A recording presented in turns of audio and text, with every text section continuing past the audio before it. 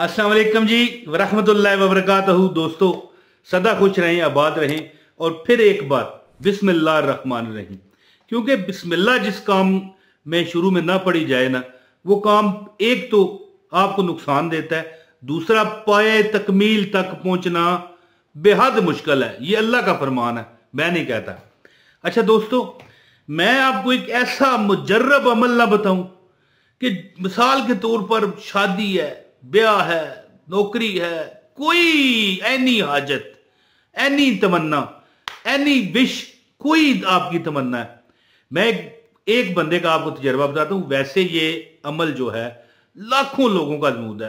बड़ा मैं आपको एक गुर देने लगा हूँ। बहुत बड़ा। वीडियो पूरी देखिएगा, आपको अमल की इजाज़त है। दोस्तों, याद रखिए कि अगर आप किसी मुश्किल में फंस गए, देखिए, इंसान क्या चाहता है? कि मेरी ये मुश्किल है, वो मुश्किल है, हल हो जाए। ठीक है, इंसान यही चाहता है। और अगर उसकी वो मुश्किल हल हो जाती है तो फिर सत्य खैर है, वो और क्या उसे चाहिए? हर चीज़ उसे मिल गई, जो उसने चाहा, अल्लाह ताला ने उसे दे दिया। तो फिर उसको क्या चाहिए? इसके लिए मेरे पास एक ऐसा नादर अमल है एक बंदे का मैं आपको अमल बताता हूँ।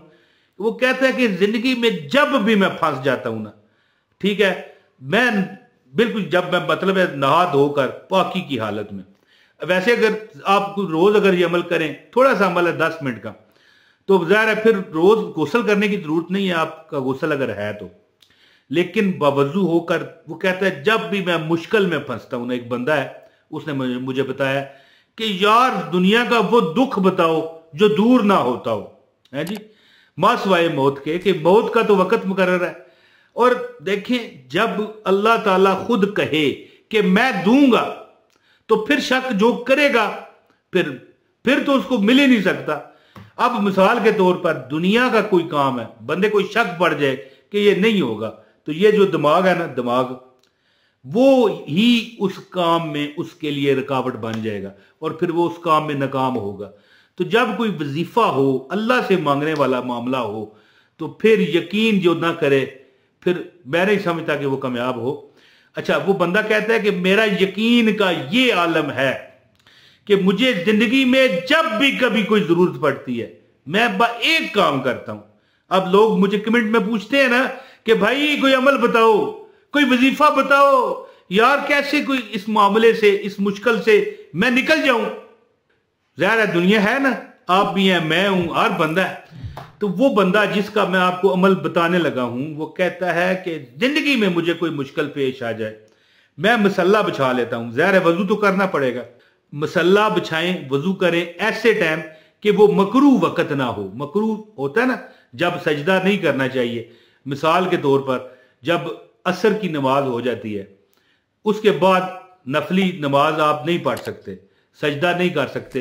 उस वक़्त तक, जब तक मगरब की अजान ना हो जाए।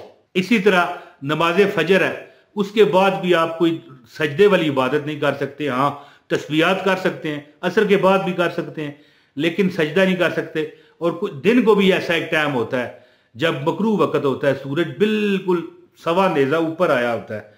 ज़ाहिर है, वो टाइम जवाल का होता है, ठीक है, उस टाइम भी सजदा नहीं है। लेकिन जिस टाइम आप सजदा कर सकते हो ये अमल करो इन ताला आपकी हर मुश्किल हल होगी। एक गुर देने जा रहा हूँ और इसके बाद वीडियो का मैं अख्ताम करूँगा। तो अमल बताता हूँ, इससे पहले गुजारिश है, वीडियो को लाइक कर दें, चैनल पर नए हैं, चैनल सब्सक्राइब करें। एक कमेंट कमेंट ज़रूर कीजिए ताकि आपका और हमारा देखें, मोहब्बत भरा रिश्ता बना रहे। मैं आपको देखता हूँ, अगरचे जवाब ना दे सकूँ, फिर भी मैं समझता हूँ कि ये मेरे बहन भाई वाकई एक्टिव है मेरे चैनल पर। तो दोस्तों, वो बंदा कहता है कि मुझे जब भी किसी मामले में परेशानी आ जाती है, दुख आ जाता है। एक छोटा सा अमल करता हूँ। मैं वज़ू करता हूँ, मसल्ला बचाता हूँ और दो रकत नफल पढ़ता हूँ। दो रकत नफल, बस, कैसे? पहले क्या किया जी? सना पड़ी ठीक है सुबहान अकल्लाहुम्मा व हमदे का व तबारा कस्मों का व तला जद्दों का वला फिर जहरा इसके बाद सूरह फातह अल्हम्दुलिल्लाह रब्बिल आलमीन। और इसके बाद भी कोई सूरत पढ़नी होती है। ज़्यादातर सूरह अखलास ही पढ़ी जाती है और मैं भी वही पढ़ता हूँ। सूरह अखलास सूरह एक क्लास आपने सत्तर मरतबा पढ़नी है। ठीक है? याद रखिएगा। इस तरह बंदा हाथ बांधे हो अगर। अब मैं ऊपर से बाँध के बता रहा हूँ ना कि कैमरा मेरा इसी तरह का है तो फिर नीचे बांधूँगा, आपको नज़र नहीं आएगा। तो आप इस तरह गिन सकते हैं इशारे से, क्योंकि नफल में कोई प्रॉब्लम नहीं है। हाँ फ़र्ज़ में जो है ना, उंगलियाँ हिलती नहीं होनी चाहिए। तो वो कहता है कि मैं पहली रकत में जब सूर्य फातिहा पढ़ता हूँ, उसके बाद जो सूरत मिलाता हूँ सूर्य अखलास होती है। कौन सी? सूर्य अखलास कुल अहद, अल्लाह समद, लम या लिद वलम यू लद वलम यकुल्लहू अहद। ये सत्तर मरतबा पढ़ता हूँ। आप, आपको भी मैं वजीफा बता रहा हूँ कि पहली रकत में क्या करें? सत्तर मरतबा सूरह अखलास पढ़ें।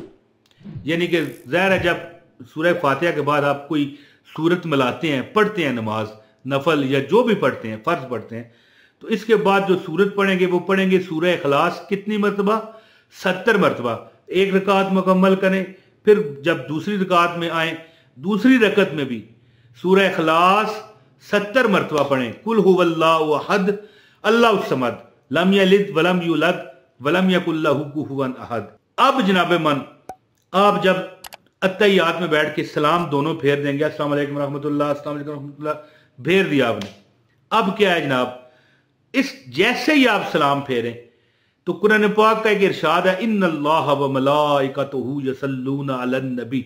या अय्युहल्लजीना आमनु सल्लु अलैहि व सल्लिमु तस्लीमा। ए ईमान वालो, अल्लाह ताला और उसके फरिश्ते, नबी मुकर्रम सल्लल्लाहु अलैहि वसल्लम पर दरूद भी भेजते हैं और सलाम भी भेजते हैं। तो जैसे ही आप सलाम भेजो, तीन बार कहो, सल्लल्लाहु अलैहि, सल्लल्लाहु वसल्लम कह लें, या अस्सलातु वस्सलाम अलैका या रसूल अल्लाह कह लें। तीन बार ये कहें, तीन बार इसके बाद दरूद इब्राहिमी पढ़ें। अल्लाह अला मोहम्मद वाल मोहम्मद, कमा सल्लाई इब्राहिम वाल इब्राहिम, इन्नका हमीदुम मजीद। अल्लाह मुबारक अला मोहम्मद वाल मोहम्मद, कमा बारक तला इब्राहिम वाल इब्राहिम, इन्नका हमीदुम मजीद। तीन बार अस्सलातु वस्सलाम अलैका या आपने पढ़ा ये सलाम है। और इसके बाद दरूद पढ़ें, तीन बार। और इसके बाद हाथ बुलंद करके कहें, या अल्लाह, इस जो मैंने पढ़ा कबूल करके इसका स्वाब अजूर पाक सल्लल्लाहु अलैहि वसल्लम की बरगाह अकदस में पहुंचाता हूँ। और बिलखसूस, जहर हजूर को तो हमने स्वाब पहले पहुंचाना और बिलखसूस जो अब रूह है, ये वजीफे की। वजीफा आपका कामयाबी की तरफ़ जा रहा है। आपने अजूर पाक सल्लल्लाहु अलैहि वसल्लम को हालत ज़िंदगी में, जिसने हालत ईमान में देखा, यानी कि अजूर का सहाबी होने के लिए क्या मतलब है कि क्वालिफिकेशन है? है जी? जो बंदा अजूर की ज़िंदगी की हालत में अजूर को देखे, ईमान की हालत में, ला इला मोहम्मद रसूल पर यकीन और ईमान की हालत में, वो सहाबी है। आपने कहना है, या अल्लाह अजूर पाक को स्वाब जाने के बाद कहें, या अल्लाह अजूर के जितने सहाबी हैं माल के कायनात तमाम सहाबियों को, ये जो मैंने पढ़ा है, जो आपको मैंने दो रकत नफल बताए हैं, सत्तर मरतबा दोनों दोनों रकतों में जो सूर्य खलास पढ़ने की बताई है, या परवरदिगार, तमाम साहबा को मैं इसका स्वाब पहुंचाता हूँ, या पहुंचाती हूँ कबूल कर और जो मेरी ये मुश्किल है, परेशानी है, दूर फरमा। वो बंदा मुझे कहता है कि मुझे जब भी कोई प्रॉब्लम होती है वज़ू करता हूँ मसल्ला बचाता हूँ दो रकत नफल पढ़ता हूँ। हर रकत में, दोनों रकतों में सत्तर सत्तर मरतबा सूर्य खलास कुल हो अल्लाह अल्लाह हद पढ़ता हूँ। और इसके बाद इसका साल स्वाब, जो नबी पाक के सारे साहबी हैं, जिसमें साहब बदर हैं साहब उहद हैं, जितने भी मतलब साहबी हैं, जो हजूर पाक पर ईमान लाए, हजूर पाक की ज़िंदगी की हालत में, या हम सबको स्वाब पहुँचाता हूँ। और इसके बाद चाहे तो अपने बुज़ुर्गों को, बाकी उलिया को भी पहुँचा सकते हैं। और या अल्लाह इसके सदके जो मेरी ये मुश्किल आसान फरमा। इन ताला, चंद दिन आप ये अमल करेंगे, ये देखें, मेरी चुटकी देखें। अल्लाह ताला आपको हर मुश्किल से निजात देगा। आजमाएँ और आप मुझे मान जाओगे कि आपने वाकई इमरान भाई ज़बरदस्त अमल बताया। तो जो दोस्तों दुआ का कहते हैं, उन पर अल्लाह कर्म करे, आबाद रखे। अपने भाई इमरान तय को इजाज़त दें। असल वरहमल वर्का